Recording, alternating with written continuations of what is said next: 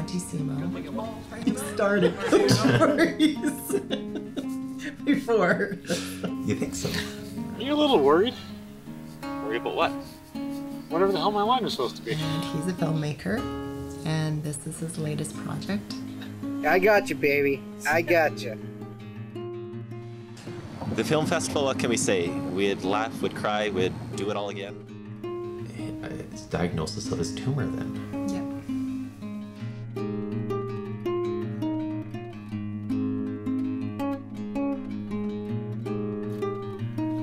Because Jay's not gonna live for much longer. We don't know how long. I hope the cameras recorded some of this. it was always of the fun. it was always about the fun because I wasn't sure what I was gonna pull together or if I was gonna do this.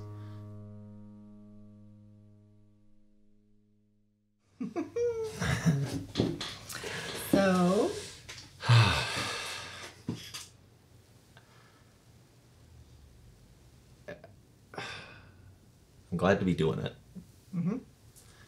Um, I have a hard time not looking into every single possible camera I can. got they're here. This is a little conversation between us. yeah, exactly. So, how long have you been making films?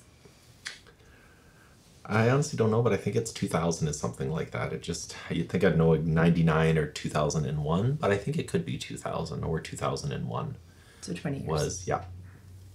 And I think everybody's made films in high school or junior high, and I didn't.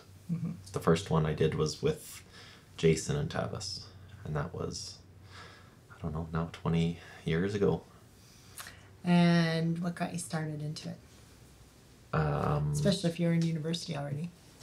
Yeah, it was. Uh, I like to write. It's always come from writing. So I would write, and not just fiction, just anything. And I wrote a character study, is what it was, of nine or so different characters. And I really liked the characters, and they had nothing to do with each other. So I came up with a narrative of a train that's derailed, or not derailed, but been delayed mm-hmm. and there's all these characters then lumped into a cafe and then there's the server who i must i must have been a flight attendant at the time actually Okay, yeah. and there was a server who knew all of these stories so then narrated the story Right. and i kind of when i pieced that together i thought it would be good for students to use as a writing piece so then you would grab one of these characters whichever one you wanted and you would tell their backstory or what happens when they get on the train or something like that Yeah. um, and that's where the name starter dough came Okay.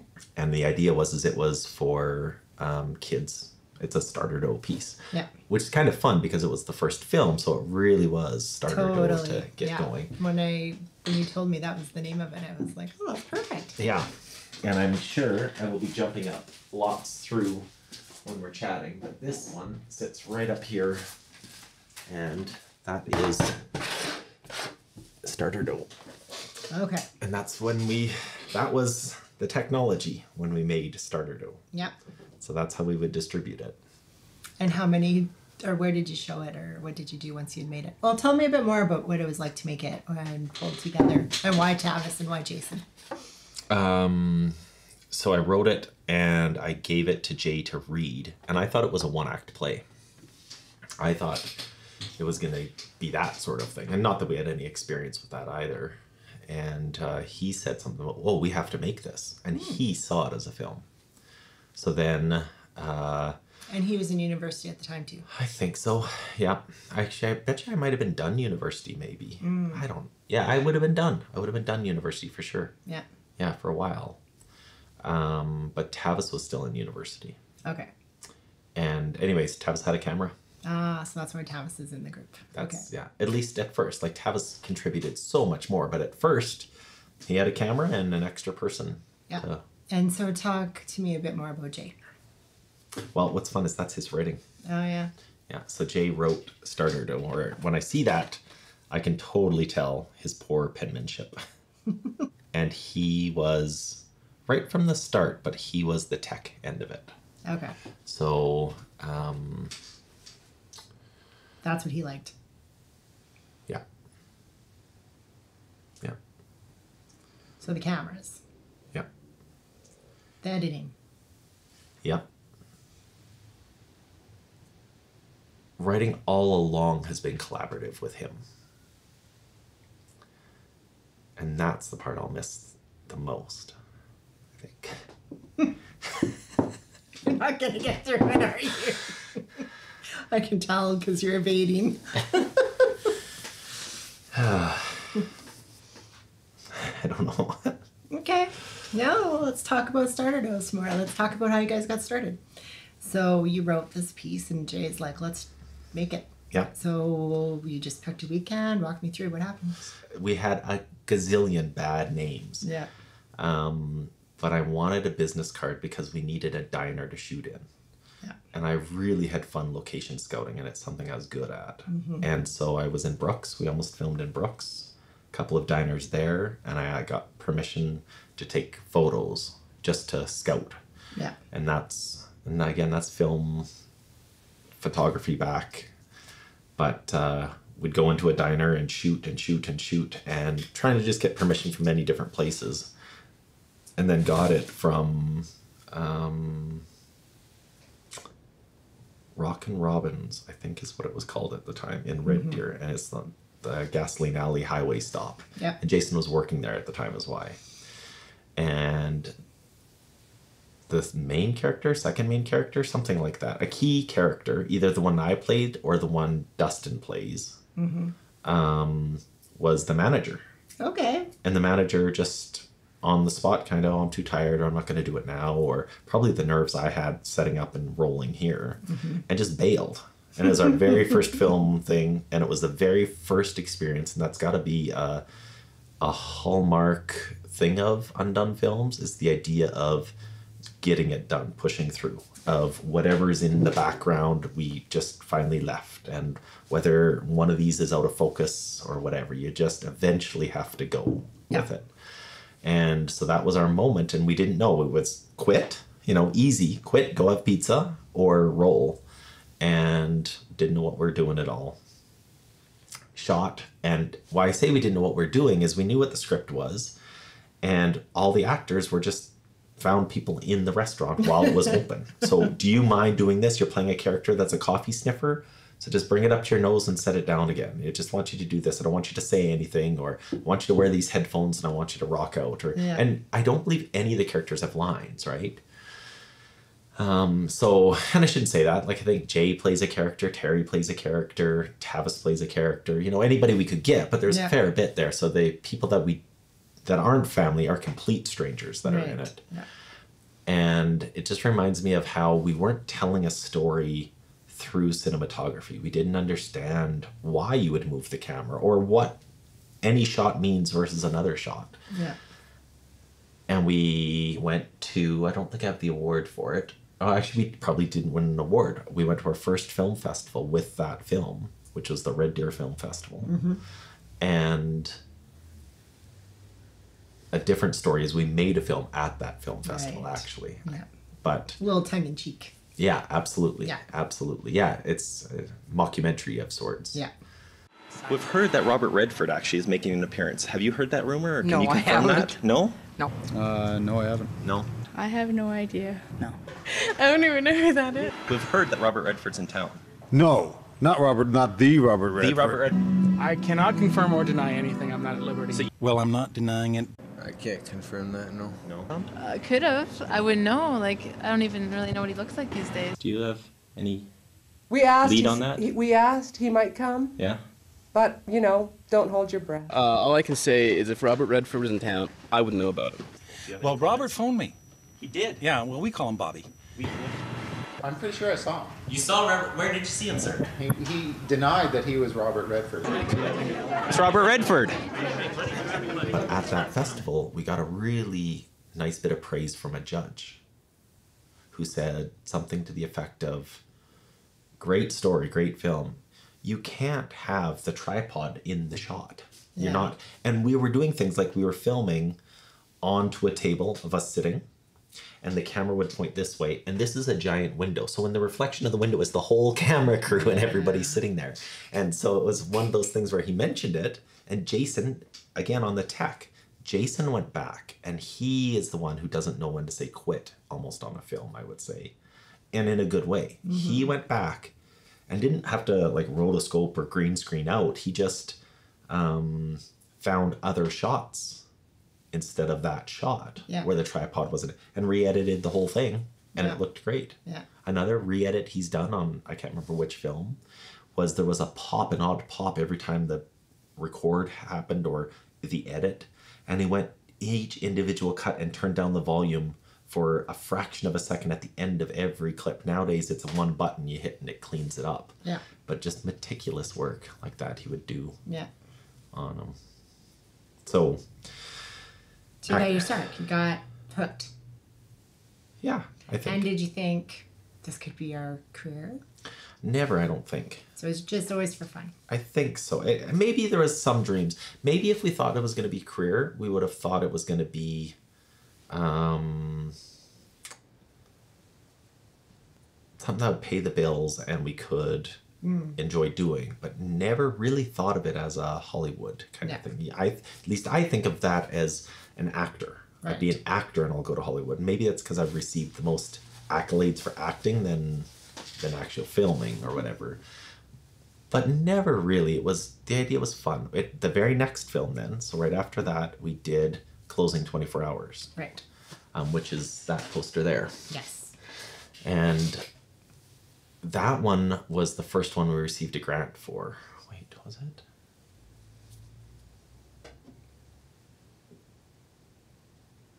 I don't recall. Again, that's why I need to be with Jay kind of for it. Because again, he's that detail. You Yeah. know what I mean? Somewhere along the way, it was that film or it was Man on the Mast, which was probably our third or fourth film.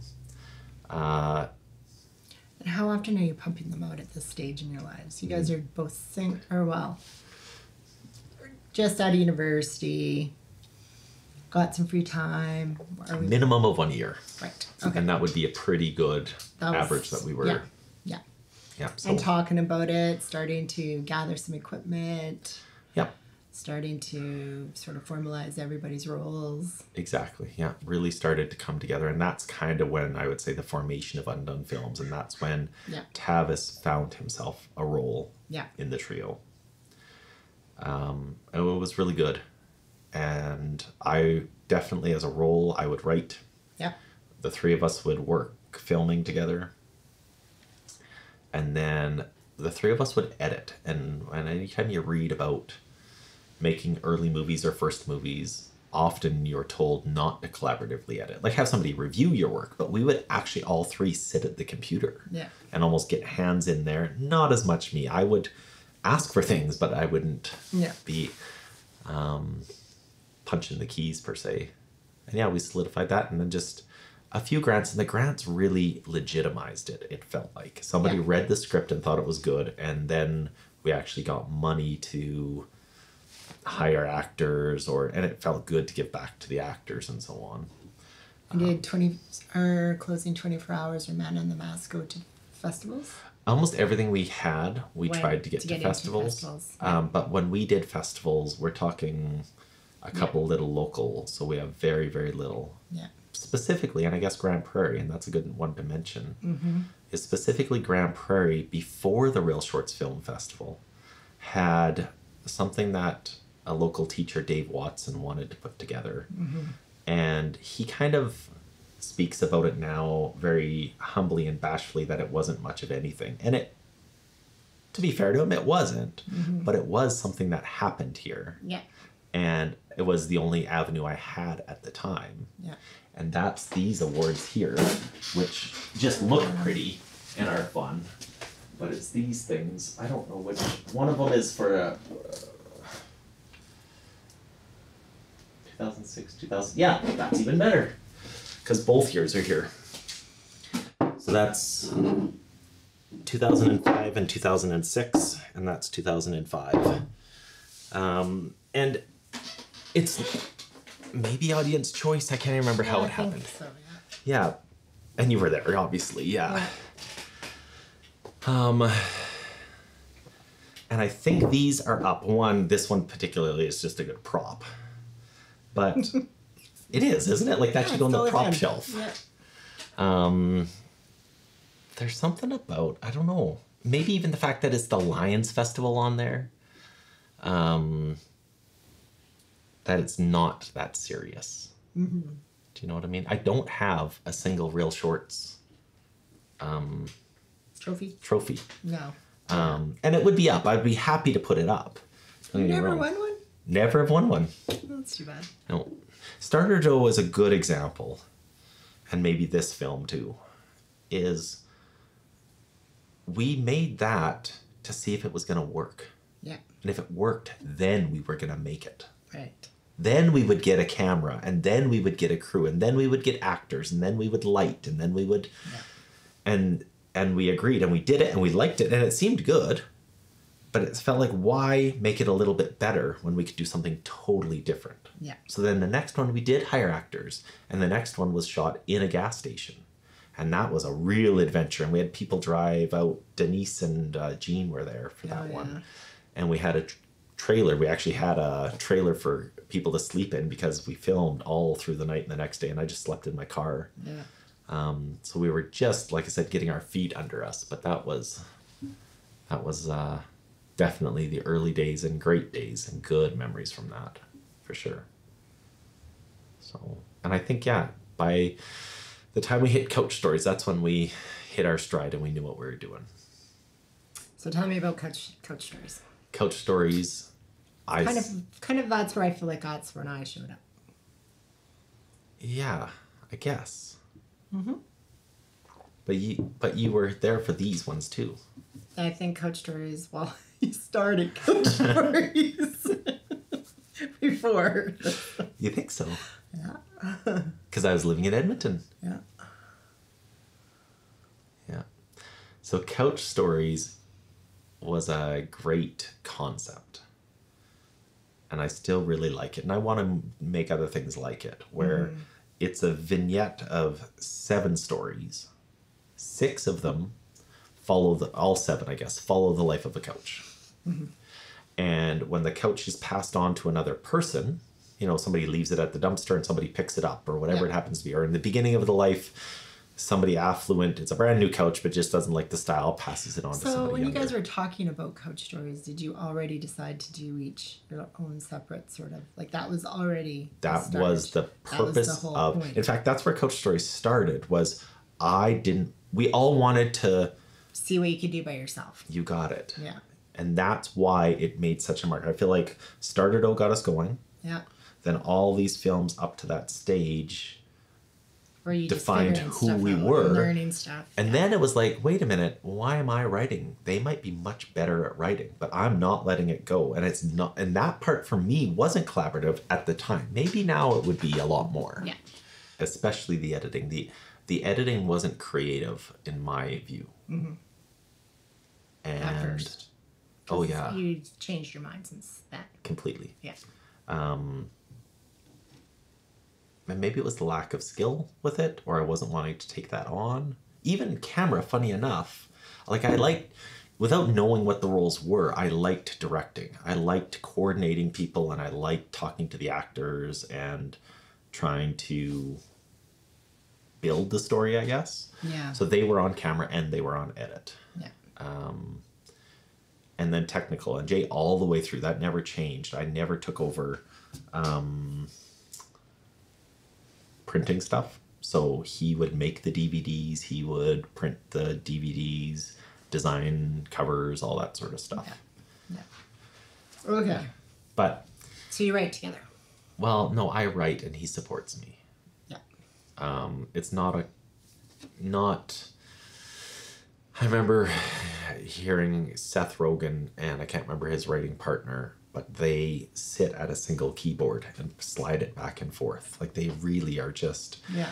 And I give things for Jay to read. Jay will sit there when I type and I'll say something, or then I'll ask him to be quiet so I can get all these ideas out, and then I'll read something to him, or he'll say something that'll feed an idea. Yeah. Um, and when he doesn't say something or he suggests a twist on something, I know it's a bad idea. Yeah. So maybe we don't even massage it, we just cut it. Yeah. But I haven't had that experience close to that experience, and I don't think I will. No. with anyone else. And I think it's that history of growing up together, which I guess that is key. So Sure. from so tell us about Yeah. Jay and Monty's story.